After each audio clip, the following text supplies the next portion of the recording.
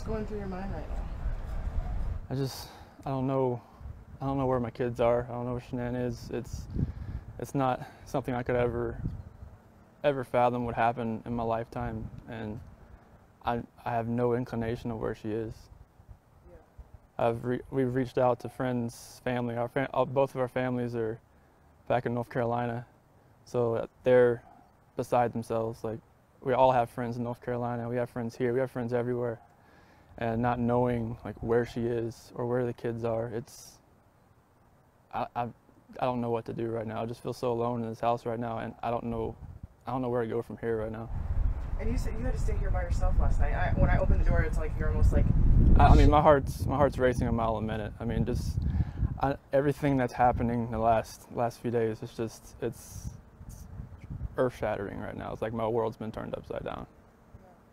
Like I have friends that have offered to, to I just I didn't feel like I should have left last night. Like just in case like maybe she came back, maybe the kids came back, maybe something happened, maybe I, there's a knock on the door.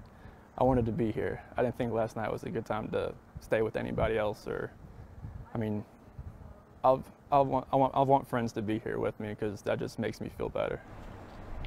And what? How do you think the police have responded so far? Uh, it's been amazing. They've been in constant contact. Frederick Police Department, detectives, officers, sergeants. They have the dogs coming through to get scents. I mean, it's they've been on top of everything. Missing persons reports. Everything's been. They've been. do you have any idea where she could be? Um, she said she was going to her friend's house with the kids, and that's the last thing I heard. And that was that was it. It was very vague, and it was very.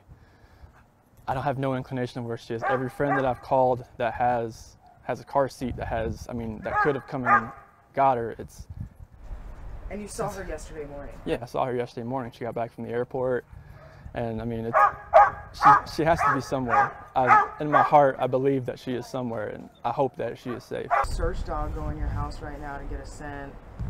It, A line of police cars. It, I'm, I'm, I'm so happy that they're here right now doing everything that they can. It just it scares the living crap out of me right now just knowing that it's come to this and that she didn't come home last night with the kids. Like Shanann, Bella, and Celeste, if you're out there, please, just come home. And you yesterday, when her friends were calling frantic, you something in you said, "Well, she'll just be home." Yeah, I mean, I, I, and it wasn't like her not to answer a phone call or a text. And when her friend Nicole showed up at the door, I was just like, all right, something, something's up.